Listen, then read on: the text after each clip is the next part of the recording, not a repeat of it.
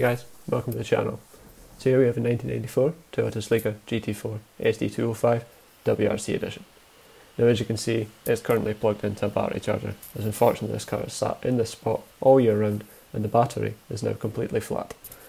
So I thought to myself, let's make a YouTube mini-series featuring the Celica to start off the channel. So in this short video today, we're going to start the Celica up. Let's see what happens. So, without waiting any longer, Let's fire her up.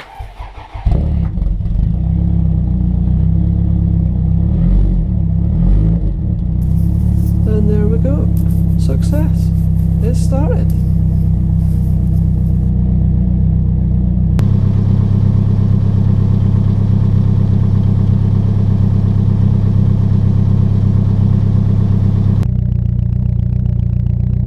Now I would drive it, but I'm in quite